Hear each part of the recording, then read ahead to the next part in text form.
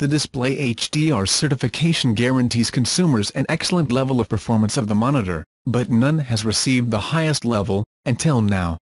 The 43-inch 436 M6 Momentum is the first to obtain HDR 1000 approval, ensuring excellent brightness of 1000 CD/M2, deep blacks, 10-bit color depth and an HDR-compatible color gamut. To achieve this, Philips used quantum dot technology, just like Samsung uses in its QLED televisions and monitors. It also features ambiglow technology that places a halo of light on the walls and floor, combining the content of the screen. The beauty of Display HDR is that you do not even have to look at the specifications of a product to know what you will get. There are three standards, Display HDR 400, 600 and 1000.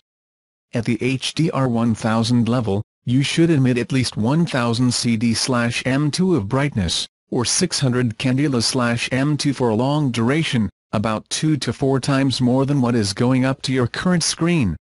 All display HDR levels must also support a contrast ratio of 955, 1, 10 bits per color of image processing and film quality color gamuts. Naturally, these specifications are ideal for watching HDR movies on Blu-ray or Netflix, but also for creating such content in the first place. As such, Philips offers something called Multi-View, which allows you to simultaneously connect a PC and decoder,